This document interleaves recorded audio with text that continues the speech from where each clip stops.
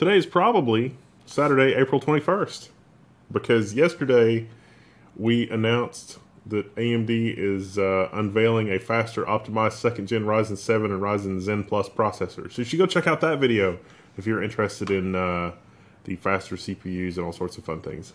We got this article from Hot Hardware, which is uh, the press release before the embargo lift, which talks about the processors and their their price releases and or the the press release for the processor process. Well, that's, that's a tongue twister. That is quite the. It's a lot of alliteration for one sentence.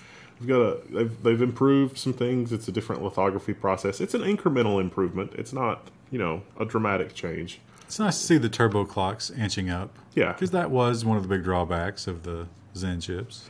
Yeah, it's uh, it's it's uh, things are looking up for AMD. Things are probably looking up for for AMD stockholders, I imagine. So, woohoo! Definitely check that out. A lot of separate coverage for that. It's going to be amazing. This was uh, this was kind of leaked last week, but there wasn't really any good stories about it. So, but Intel is developing a discrete GPU called Arctic Sound. Arctic Sound. That sounds like a jazz alternative fusion band in a college town near you. Arctic Sound. I think that Arctic Sound is like the exact opposite of a graphics card because graphics cards are insanely hot and they have nothing to do with sound. Yeah, but they do Yeah. like to name coolers. uh, You know, like the cold word, like Arctic and stuff like that. You know, like deep cool. And so I can see that, you know, putting in the consumer, it's like, oh, yeah, that card's going to be really good with cooling. It's not going to be as hot because it's Arctic. And so, of- course, Raja Koduri is working on this. Raja uh, was poached, maybe, or maybe voluntarily. Uh, he used to be with AMD. He worked on Vega and a lot of other things. He gets sort of a high profile. Sort of, sort of has the rock star mentality, even though he's an engineer. Uh, and uh, he's at Intel now from A- from AMD. And so it's like apparently Raja is redefining Arctic Sound. Originally planned for video streaming apps in the data center, but now it's being split into the video streaming stuff and gaming. Turns out that video uh, data centers really, really want a lot of video processing for a lot of things. It's easy to imagine companies like Netflix, whose main business is video, would benefit from video acceleration hardware in the enterprise. But remains to be seen. There's some interesting info at Hot Hardware. You should check that out if you're interested in learning more about Arctic Sand and the Arctic Arctic Sand? Sand. sand, Ar- Arctic Sound That's and just the, called snow. and the smooth bass lines because it's a band. It's not a band. The new iOS update killed touch functionality on iPhone 8's, uh, 8's repaired with aftermarket screens. So it's like, oh, you're not running a genuine screen. Let's make it not work. Now work. you think that might be a mistake, but that that's completely 100% intentional. Yeah. They did it to the sevens, and I, they were, they went back on that. They enabled them again with a you know it's like, oops, did we destroy your aftermarket screen? Oh, I totally didn't mean to do that. Let us fix those. But now they've done it again. You really have to wonder. I Oh, like yeah, this. got a GIF here. I like this quote from. Uh, it was bad enough that Michael uh, Oberdick, uh, owner and operator of iOutlet, an Ohio-based pre-owned iPhone store and repair shop, decided not to take a wait-and-see approach when Apple launched its new phones. We don't even do the the iPhone 8 repairs this year on purpose. Uh, Oberdick told me over the phone. I had a really good feeling that something like this was going to happen again, and he was right. With the iOS 11.3 update in March, the company has disabled touch functionality. And when you talk about right to repair, you can have all the right to repair you want. That doesn't stop them from doing something like this. So, pretty disgusting. yeah, I just I really hope the FTC gets involved and uh, finds Apple into the next century. That would be amazing. Well, as you may or may not know, computer hardware involves the use and production of lots and lots and lots of minerals that are, that are called rare earth minerals. Everything from neodymium hard drive magnets to you know uh, exotic essentials that are sprinkled throughout any any any device, whether it's the iPhone or the special chips in the iPhone that make the touchscreen work, or Teslas. Teslas, literally everything. Well, Japan has announced that they have uh, mapped a semi-infinite trove of rare earth metals. Unfortunately, all of this is uh, in ocean floor mud. It's pretty far down, but if we can get at it, this will supply the world's needs for certainly all of our lifetime. It sounds Yeah. like Japan needs some freedom. Well, I think USA, USA. I think they've got a plan to get it out of there. It's valuable enough that they'll be able to get it out of there, and that's definitely good news for the electric car revolution because you know that was one of the things. It's like, do we have enough of all these resources to replace every internal combustion car with an electric car? And this will certainly be good news for that. Now, I was thinking that America had a huge trove of these rare earth metals as well, but the, the problem was mining them is so toxic and produces so many caustic byproducts that it's really hard to do in America, which is why China China does it. But then you read the stories about the rural Chinese villages where people, you know, have horrible birth defects and there's just all kinds of just crazy levels of toxicity. What is this going to do to the ocean? Who It's cares? well, it's the cusp of the Godzilla. That's what's gonna happen. We're gonna unearth Godzilla along with the rare earth minerals. oh, I can't wait. so you're saying that Japan is going to start mining this to literally summon Godzilla? Yeah, or Mothra, or you know, your giant monster of choice. I don't think Mothra lived under the sea, Krista. Where did Come on. Mothra come from? Was he just in a cave? It's been a while since uh, I've seen some of I those don't, I don't remember the origin of Mothra. Showed up one Tell day. someone will tell us in the comments. I no remember, doubt. like uh, in the one movie, it was a like there was some mysticism. There were the twins, and it got weird. You know what else is getting weird? If you're an infantryman, you're apparently using robots now. Robots are being used by soldiers uh, in breaching exercises. Well, this so, is the this is the engineering. so the engineering corps who would normally have to go in before storming a complex and remove mines and debris and tank traps and fill in tank ditches and stuff or tank trenches. Well, now we got robots for that. and the soldiers commented and were like, "Wow, this actually works," which is perhaps encouraging. They also have drones that are watching this whole thing so that they can drive them remotely from behind the lines, and they have auto- autonomous vehicles that lay down smoke and transport the robots. So it's like a whole little robot fleet that goes out and takes care of these battlefields. a vape train. Just a vape deploy- I think that's robots. that's what they officially call it is the vape train. The train. vape train. Uh, it looks like so. This is a robot that's about to fetch a mortar or something. Yeah, it's like some kind of ID.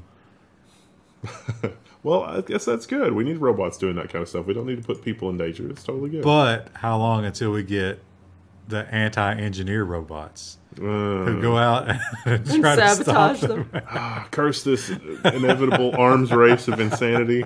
No.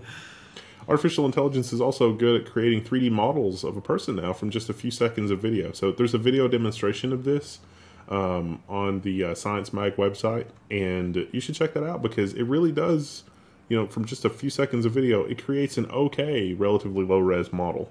Yeah, if you can get a 360 degree video of yourself, it doesn't require that, but that's the best results. Then you could. The future of this is going to be, you know how you can put your face on the basketball players in like NBA 2K or whatever. Yeah. Do they still call it 2K? I guess we're still in the 2000. Uh, this will be your entire body with proper joint movement and all of that, and your perfect dimensions in video games. Think about that.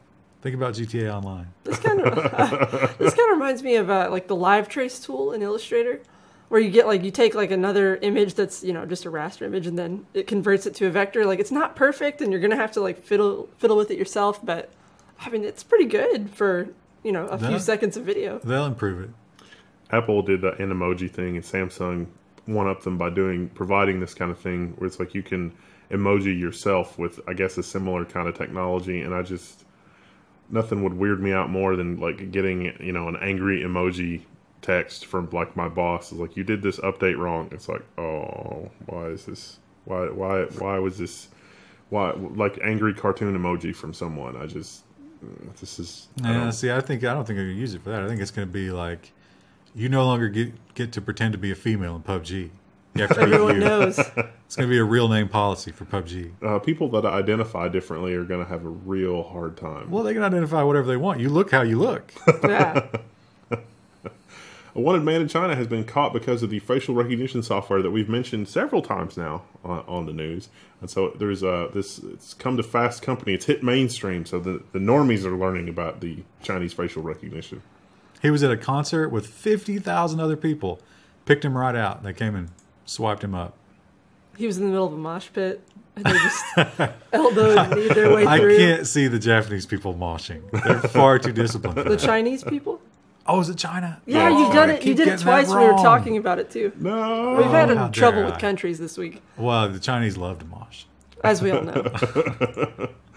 Uh, machine learning, machine learning applied to material science. This is always something that I'm interested in because I think that searching for chemical reactions that produce certain biological results and looking for chains of reactions and combinations of, of, of elements to produce the desired material. I think AI is going to make huge differences there, so I'm always keeping an eye out for stories about like that. And so artificial intelligence has accelerated the discovery of metallic glass, transparent aluminum from Star Trek. So we're, we're finally going to have that because of machine learning. Woo! Transparent aluminum, all right, yeah. We, we did uh, the prescription drugs. They also did this. Yeah. So this is really the same process. It's just you teach the AI what is going to react, what two things reacting together is going to be like, and then it extrapolates and it makes some good guesses.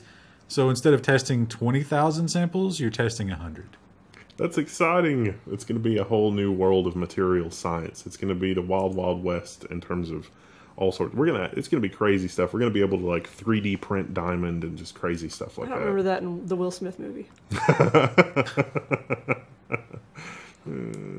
The FDA has approved an AI-powered software to detect diabetic retinopathy. I hope I pronounced that correctly. Retinopathy? I'm not sure. Oh, yeah. Retinopathy. That's from Anyway, Retina. Yeah. It's a it's a diabetic precursor that can be recognized in your eye. Although a human probably couldn't do it, but an AI certainly can. So they just scan your eye, run it through the AI, and you find out if you're diabetic. Woo! Seems good. The FDA has signed off on it, so Yeah. they've been testing this for at least a year or two, I'd say. Now, that's, they don't make a concrete decision based on that, but if it comes back true, you get scheduled for a follow up. So, you know, they're still going to have a human make the decision, but chances are real good. Oh, Our next segment is news headline or name of an album, and it is China plans to grow flowers and silkworms on the dark side of the moon. what band? Dark Side of the Moon. Go. Um, Pink Floyd. Oh, good job. Wow. Something that's not a Weird Al album. I made an effort to be normal once. It didn't didn't work Didn't out. now, Yeah. what classic movie is that supposed to be the unofficial soundtrack of? Um, I could tell you that. I watched that in college many times. Uh, That's The Wizard of Oz. oh, the Wizard of Oz. Oh, really? But this, yeah, supposedly you start it when the lion roars like the second It does time, match up. It's and very weird. And it's perfectly matched to that. Wow. But that's not what we're covering here. We're talking about We're about talking about China. we're talking about silkworms, and so basically they've built a little terrarium. The dark side of the moon, by the way, not actually dark. The sun hits it, and uh, they're going to send this up, and it's going to, you know, the the silkworms are going to eat the flowers, and then they're going to poop, and the flowers are going to eat off that. There's a sealed amount of water in there, and the sunlight. They expect this to tell them, can the silkworms gestate, pupate? Is that what it's called? Yeah. in almost no gravity and can they function or will they be little dead silkworms in space Not not quite the beautiful ecosystem they imagined when they sent it off. We're gonna bring life to the moon. It'll be great. Martian, Martian, lunar soil is very caustic. It's very abrasive. It's very sharp. So, if we could actually get something to grow there to just till the soil and grind it over like the wind, and you know, in a few hundred years, it might not be as caustic. now this is just a little glass bubble. but we know we were talking before this could easily lead to mothra easily Easily. and we all know that mothra could travel through space so Maybe that's what happened. It was a it was a, a Chinese biology experiment, and in the 1960s, we wanted to nuke the moon as a show of power. So it was the nuke on the moon combined with the you know Chinese science experiment that produced. it was a dud nuke nuke nuke the moon. You know, we don't need the tides. None of that. Not important. Well, it wasn't. It was. It was. It was not to destroy the moon. It Yeah. was just that you could see the nuclear explosion on the surface of the moon. And moon. let everyone know. Right. Yeah, it's like this is this this US could be was you. here. Yeah, it's like you need you need to fall in line. I'd be surprised if Russia doesn't do that the way that. Well, anyway, that's a story for another time. That's a good use of a nuke. Army researchers conduct the first ever combustion experiment with X-rays, the most powerful X-ray on the planet, or so they claim. They're they're they're, they're looking at gas turbine uh, combustion with the X-ray. yeah i was excited when i saw that headline i thought they were setting fire to things with x-rays It sounds very like, exciting. wow, I didn't know that was even remotely possible. Well, it turns out it's not. but inside of a turbine, and this is a helicopter propeller that they're looking at, because it's a combustion chamber, you know, it's, it's got to be very robust materials. they've never been able to look inside of it and see exactly how the fuel reacts as it's in the combustion chamber. But they've come up with an X-ray that's so powerful they can now look at it, which is kind of cool. They can look at the tiny drops of fuel as it combusts because aerosolizing or converting the fuel into tiny little drops helps efficiency. We know that from just experiments, but but how? I'm sure a lot of scientists in the comments are going to tell us. Or argue about how it's done. Or either one, you know, I don't know. Or complain about the audio. Uh, EurekAlert had this one, this new and exciting article, a, a new qubit mechanism. This is uh, one of the building blocks of quantum computers. Uh, now works without breaks. So we've got like current qubits basically will generate heat, and heat is the enemy of the superconducting nature of you know the material that's needed to actually do quantum computations. And so they've come up with a mechanism here which will fail at predictable intervals. So it's not really that it's working without breaks, but they're able to control when the material stops becoming superconductive so that they can still do useful compu- computations basically continuously with an array of these. These are superconducting nanowires. So normally you use the break and there's like the quantum tunneling through the breaks and that whole thing. But here they're messing with the electrical field to change the superconductive quality of the nanowires predictably. Yeah. And if you read this article, it starts to get real intense toward the end. I'm not going to pretend to understand all of that, but seems exciting. I watched a whole like intro, like one of those uh, tutorial vids on YouTube that was like intro to quantum computing. I was like, this is interesting, and then like I was following it and following it, and then it just like reaches a point where it just like a Oh, snap, and then it's like I don't understand what's going on anymore. I got as far as I could with my community extension courses, and uh, yeah, that's Yeah,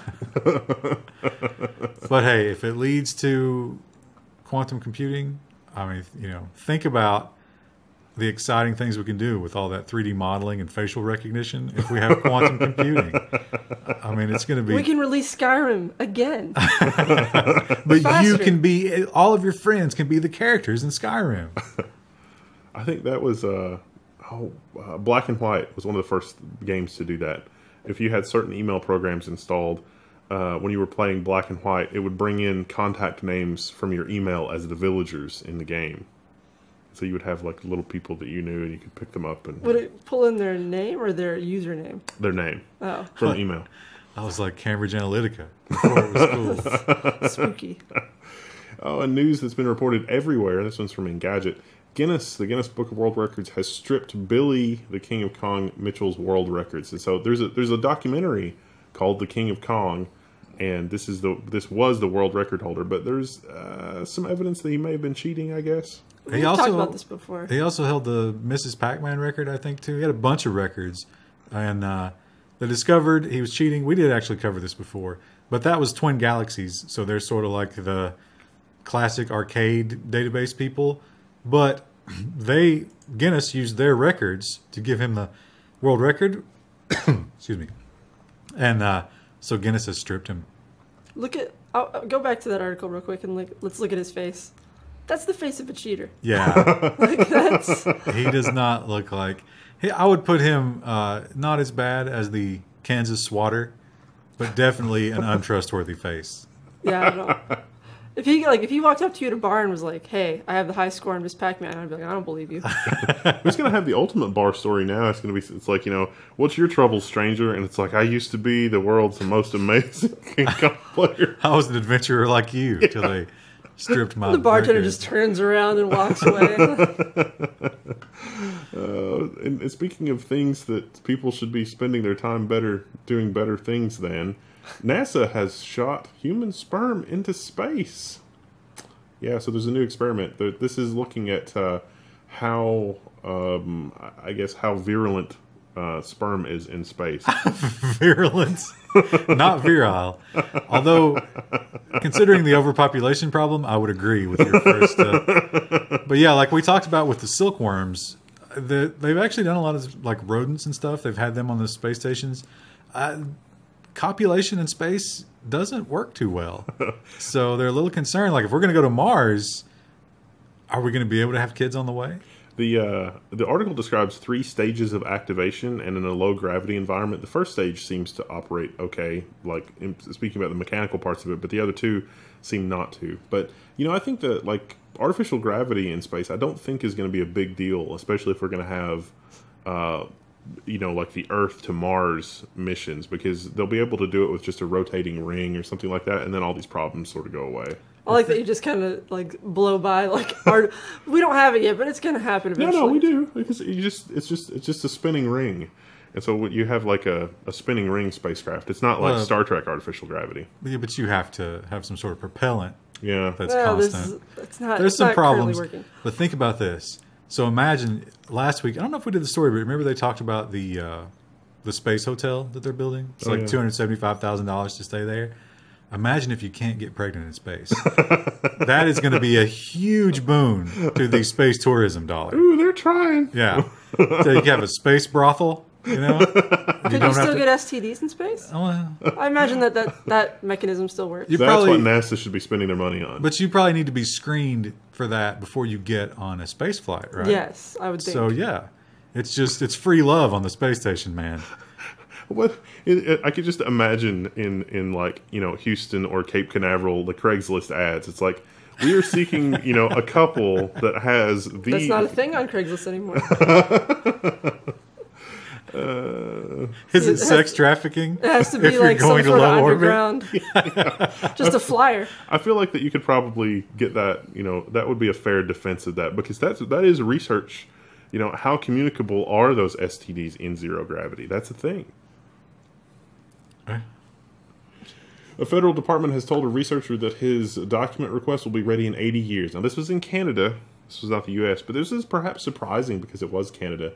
The uh, Library and Archives Canada said that it needed at minimum eight decades to review 780,000 records related to a, myri- a mysterious RCMP investigation called Project Anecdote. Except, it wasn't their original thing. Like it'll take us 800 years. 800, yeah. Well, they I'm- said that was a typo. I meant to Oh. read up on Project Anecdote. I wonder what kind of horrible thing that is. I, I didn't get time to do it, but I'm going to. Yeah, the uh, the article did not go into that at all, which makes me think that it's one of those like like you know our version of MK Ultra, which we have. Yeah. Uh, I mean, the stuff that we've come clean about on MK Ultra really makes the hair on the back of my neck stand up. So is this something like that, or you know? And there's a lot more about MK Ultra that we don't know about.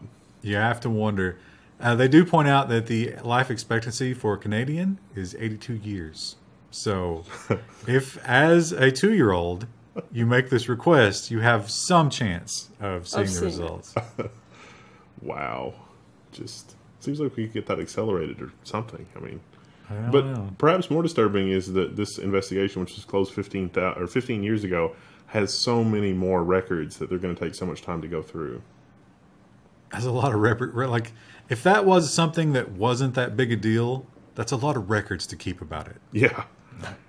It's just uh it's the Mountie program. Information about the Mountie program. How many times the horse has pooped or something. Uh, we all know about ransomware. I mean, hardly a week goes by and there's not a ransomware story. Well, this week's ransomware story is in the nonsense section. This ransomware encrypts all your stuff, but will decrypt your files if you play Player Unknown's Battlegrounds. PUBG. Yeah, this is, and they actually just give you the unlock key right there on the screen. It's, it's. I guess it's just meant to be silly, but that seems like a weird thing to put any effort into at all. Well, it turns out if you rename notepad.exe to TSL game and just run that, it'll be like, oh yeah, you're playing. It's fine. Here's your key. Nice. Hackers have stolen a high roller casino's database through a thermometer in the fish tank lobby. Yeah, so they uh, they were able to get on the network by using an IoT thermometer and exfiltrate, exfiltrate data through the thermostat. Nice. This might be the best Internet of Things, you know, anti IoT story we've ever done.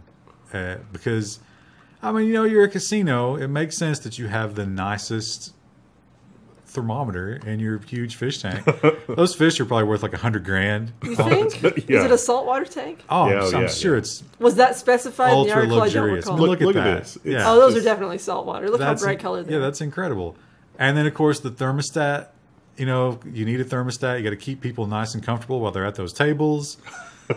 but uh, did it say how much they lost? I didn't see that in the article. Uh, it was uh, the- it was the database of high rollers. So this was the people like who Ah. spend the most at Oh. the uh, And those are people you don't want to piss off. no. So yeah, that's unfortunate for this. Uh, that was in London, by the way. You think it was in Vegas, but it wasn't. Goldman Sachs also this week was asking uh, their biotech uh, research thing is cure is is curing patients really a sustainable business model? They- They were talking about gene therapy, and it's like, look, if we come up with a way to solve these diseases by directly editing genes, people aren't going to want to buy the drugs anymore. It was Hep C they cured, right? Well, there's a company called Gilead who has actually cured Hep C, and they used that as a bit as a case study here. And it was like, well, let's look at Gilead. they made a ton of money right after they cured Hep C, but now they're not making as much. So, do we really want to cure diseases? I mean, it, long term, that doesn't help your business. And they actually, some soulless piece of shit at Goldman Sachs turned that into a report and released it to their customers. It's astonishing. That's in the nonsense section, in case you were wondering. But It's a, Jesus, That's like the darkest nonsense story. Do you think they it, even get, for it gets darker. The next one's even darker. for a moment did they ask themselves like, should we really print this? I, is this something we? Yes. you think the public will get a hold of this? They will, right? Uh, Oh, do you think maybe I'm a piece of shit for even thinking about this? No, it's everyone else who's wrong. uh, they do offer some you know ways to work around it, and they give you suggestions like only target diseases that have a huge amount of uh, Infected. yeah, like a, a lot of people suffer from that. So, and that's even worse. It's like no, let's not go after the really horrible ones that are easy to cure. Let's focus on ones that we can make the most money. Well, if we're doing gene therapy, why, why, and you know, people aren't getting sick enough. Why don't we do gene therapy on the viruses and make some super deadly viruses? I mean, it seems like problem solved. Well, I a could to- problem. I could totally see like two. It's it's a biotech company. It's two companies, but they're really owned by the same people, you know. And it's sort of like an arms race. They're, they're egging each other on. It's like, well, you'll never get the flu again, but you can get flu X, and That's- it's way worse. That that in in the computer industry, that actually happened at Apple with Steve Jobs because Steve Jobs had the Mac people fighting against the Apple people, and so I could see like the Steve Jobs of you know the pharmaceutical industry being like, all right, we you guys are racing to cure all the horrible diseases, and this team is racing to beef up those horrible diseases so they're they're you know even more likely to infect most of the population. well, it's long been, you know, they've accused the antivirus world from doing that. you get like an email, like you know, a friendly office like competition. Whoever wins gets a cake in the conference room. if the death if the death toll this year is above this number, then Team A is going to go on the retreat. But if it's below this number, Team B goes on the retreat. It's like, well, I think Bob in the mailroom is going to get a promotion this year. He found the gene that literally makes you bleed from your eyes. they're going to incorporate that into Flu 2.0 that they're going to be releasing later this They're this playing year. Plague Inc. yeah. They're playing live Plague Yeah, it Inc. kind of is, except they're making money while they're doing it. Our next story from Thomson Reuters is really interesting. Dark. Uh, yeah, Amazon has pulled child sex dolls after criticism from a UK watchdog. So Amazon is sort of saying, was that wrong? Should we not have done that? You could you could buy you could buy sex dolls that look like children. That hmm. the, it's astonishing that because you, you you think okay, this slipped through the cracks, right? Amazon's this monolithic company, but somewhere somebody in a warehouse picked up a child sex doll and put it in a box, and no alarm bells went off anywhere. Here's three cans of beanie weenie. oh, customers who bought this also bought. You know, God, I would love. I don't know if. Well, I don't know if I would love to see it, but it would certainly be interesting. I wonder. I wonder if we can abuse the Alexa always listening speaker to get it to order that instead of gummy bears. Oh no, no! Don't make people stuff order. Uh, now this is in London, so it turns out. I I think we did a story on this once before because it was so ridiculous that somebody got arrested for importing a child sex doll in London. But but the rule is, the law is, you can't import them, but you can make your own and you can buy domestic made ones.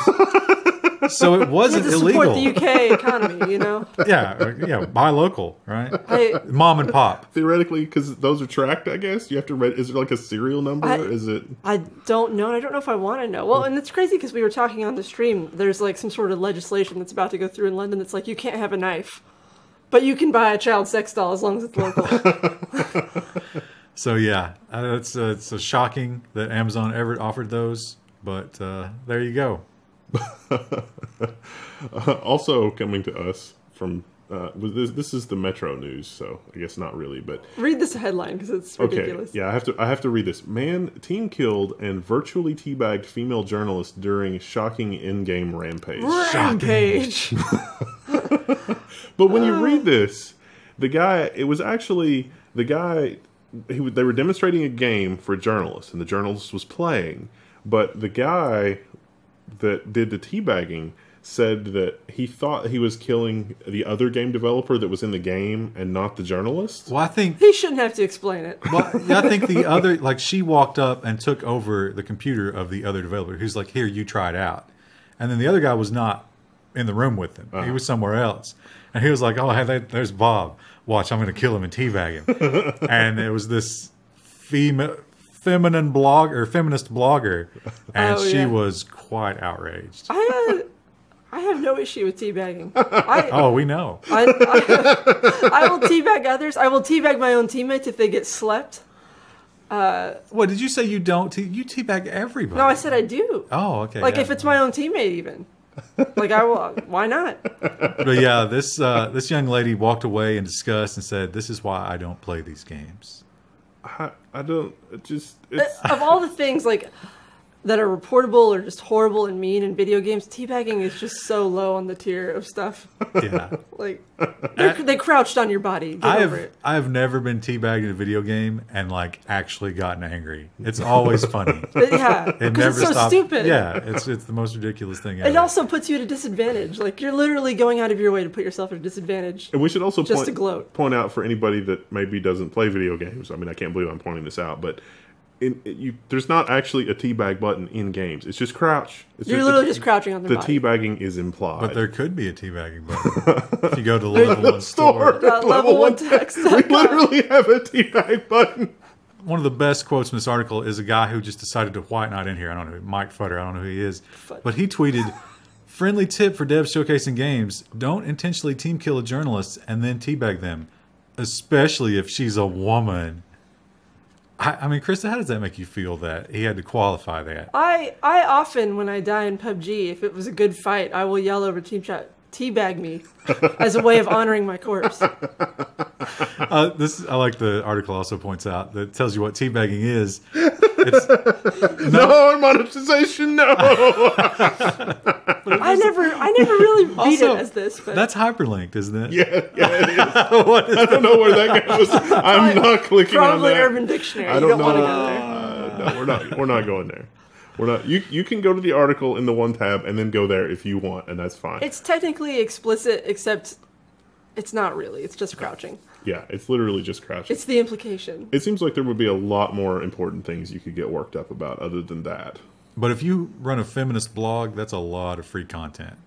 Yeah, a lot of a lot of clicks. And people who don't understand that you're literally just crouching on them, they'll be like, "I can't believe they put such a vulgar thing in a game." That's why I thought it would be important to qualify that because we've Yeah. always got at least five or six comments like that where it's just all of that just whoosh, right over. So Uh, some people are never going to get it, and I don't think we should waste time. We shouldn't. It's, it's it's like the whole "no child left behind" thing. Some people you just leave them behind. Yeah. Some commenters just It's have to. it's got got to go that way. yeah, that's enough nonsense from level one this week. But you should definitely check out the level one store where you can actually buy a teabag keycap, which is really exciting. And that was her idea. because I'm a horrible person. I also like to spray on my opponent's bodies in games that allow spraying. I'm horrible. We'll see you next time. Bye.